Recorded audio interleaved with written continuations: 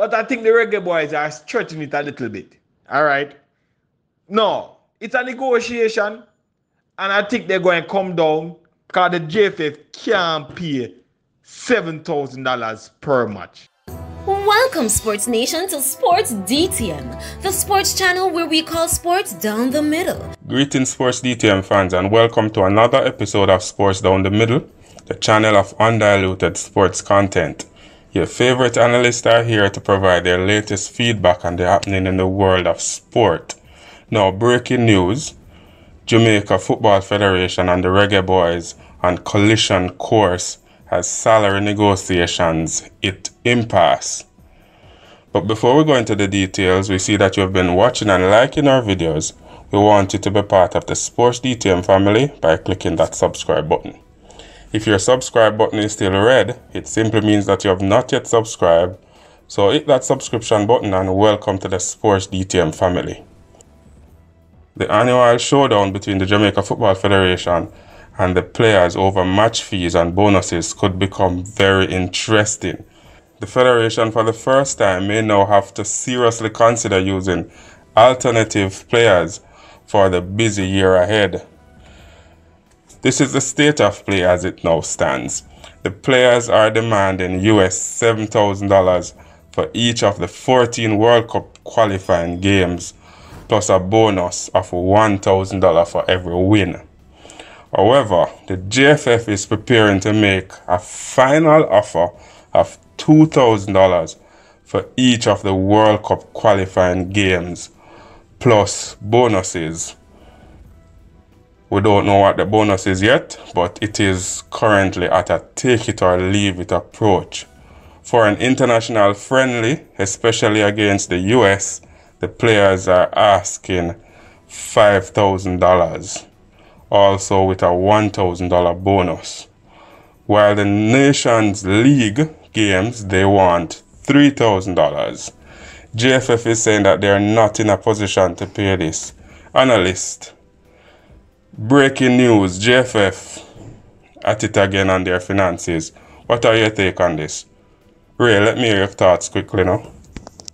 Well, let the negotiations begin now because you can see the gap between what what is being asked for and what they can afford. Let the negotiations begin. And remember, remember, remember, remember. This year, they want to be more transparent. Their New Year's resolution was being transparent. So open the books. Open the books and let us see what you really can afford. You understand? So after seeing that now, then we can know what is due to the players. So yeah, it's, it's very interesting. I'm I'm I'm, really excited about what, what is to come. Ricky, you didn't expect to hear anything different from JFF negotiation? No, you know, Kurt. I never expect to hear anything different from from JFF and them negotiations. But my my problem is that them come down from seven thousand dollars to two thousand. Them come down too far. Better them did meet the man them halfway and say, here what, we're gonna go to three five and about seven bills if we no win a match or extra five bills if we no win the match. Right, so in all you know I get four thousand per match. A whole of money that if you're in a Jamaica you a whole heap money per match, fourteen matches, whole heap of money that you carry home. Right? What I think the players are doing, they set it high so that JFF can at least meet them halfway and then at the end of the day they can be comfortable with what them get. So so I'm not surprised at this level of negotiation and I, and I, and I can bet that it's Damion Lowe planned this thing and and um, is saying that either way any way it go is a win-win situation. So yeah man I'm not surprised at how it's going but I understand where it's going and I think it's going to be a win for the boys. Tiga, talk to us about the value of a 2000 US dollar, considering that is that currency that you earning. I tell you how, how, how $2,000 fit in at the national setup right now. Okay, so when you're looking at it, the Reggae Boys want $7,000 for a World Cup qualifying match for 14 games. 14 World Cup qualifying games. They want $7,000. And if they win, they want an extra thousand dollars. Now the rate, one US to a Jamaican dollars is $150. And we're gonna do the calculation. So for one match they want seven thousand dollars. So that's going to be approximately one million and fifty thousand Jamaican dollars. And they want an extra thousand dollars. That is going to be approximately a hundred and fifty thousand dollars. But what JFF is proposing that they're going to give them two thousand dollars. Well, at that rate, they're going to get approximately three hundred thousand dollars. No, that is not it. So, no man, this can't work. I think the reggae boys are stretching it a little bit. You understand? They are stretching it a little bit. They need to come halfway. They need to come halfway. $3,500 per match. You understand? $3,500 per match. I think that will do it. And that is straight down the middle. Okay. Hey, John. JFF is currently in a bind, you know. They said that based on their proposal, it will cost them $550 million to qualify for the World Cup or to play the 14 matches for qualification for the World Cup. If they are to grant the players their uh, their requests, it will cost them 800 million. I think JFF really realistically in a position to, to pay all of this. Uh, yes, Kurt. Um, so we'd all be inclined to be sorry for the JFF based on the numbers that are calling. But of course, there is no transparency behind the JFF financials. We have been calling for the financials to be made public for a little while now without any such luck. The truth is that um, we know that um, the amounts been quoted amount of 500 million and 800 million respectively. What we don't know is how much is the JFF expected to earn um, from the friendly arrangement as well as the other matches with the World Cup qualification.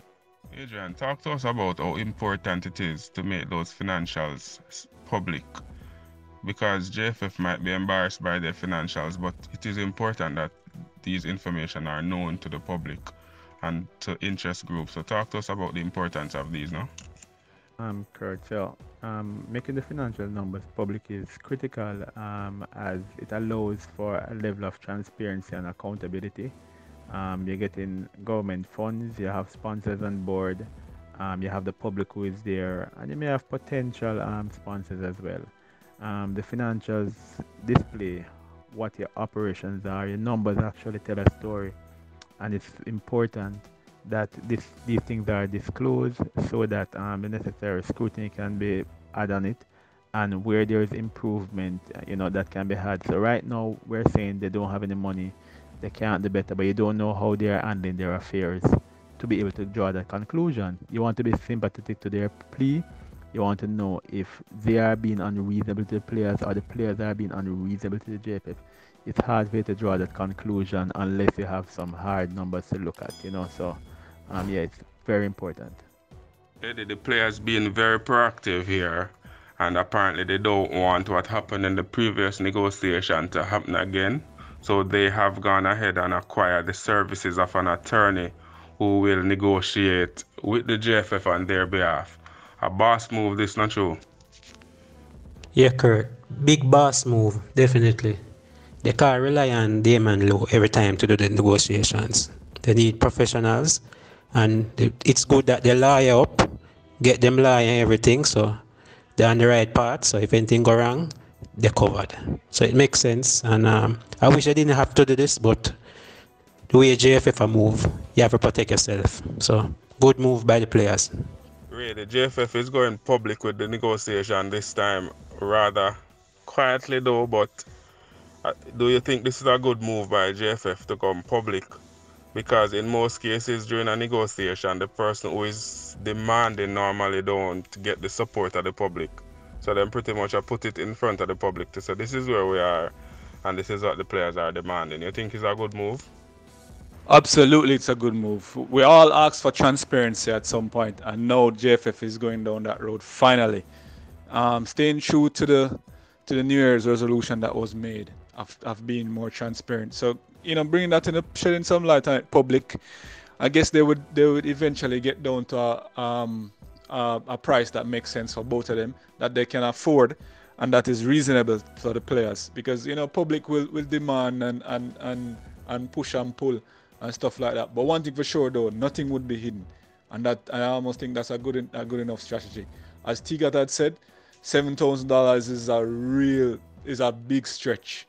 Um, we're, we're not aware of how much other um, football associations are are paying their international players, but one thing for sure, seven thousand dollars is a big stretch. So the public hearing that, some might ask for more, and some might say no, seven thousand is a stretch. And so somewhere in the around the middle, I would not say three five, but four five to five grand. The public might ask for that, or might say that, and JFF no would have to would have to pony up more money. But one thing for sure though, transparency, and that is the key to any of this um, negotiation. There you have it, Sports DTM fans. A quick look at the Jamaica Football Federation negotiation process so far between them and the Reggae Boys. There is currently a wide gap between what is being presented and what is being demanded by the players. JFF is saying I can only afford $2,000 plus a 15% bonus, while the boys are demanding a $7,000 per game plus a 1,000 bonus for every win. Let us know your comments in the section below. Do you think JFF need to go find the money to pay the players, or do you think the players are being told demanding and that them know JFF don't have the money, so them need to just bill and play a ball? Leave your comments in the comment section below. Like, share, subscribe. Tell a friend to tell a friend to tell a friend to tell a friend to come and join the Sports DTM family. Be blessed.